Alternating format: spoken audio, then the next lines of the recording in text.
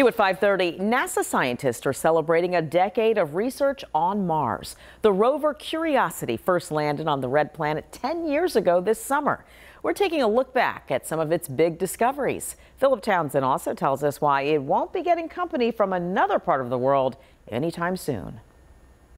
Touchdown confirmed. We're safe on Mars. The celebration of a mission that's still paying off today.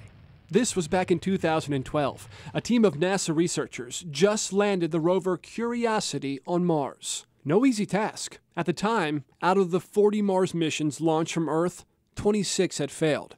And even before going to work on the red planet, Curiosity needed to make that 354 million mile commute, landing in a way never done before. The novel design is this little rocket jetpack that, that flies the rover down and then lowers the rover down on a tether, lands it on the ground, and then that rocket jetpack flies off and, uh, and we're done with it.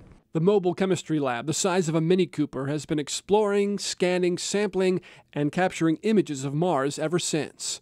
It's found methane in the atmosphere, organic chemicals in the soil, even signs of fresh water and beauty like this image, a flower like rock artifact smaller than a penny, captured just one week ago.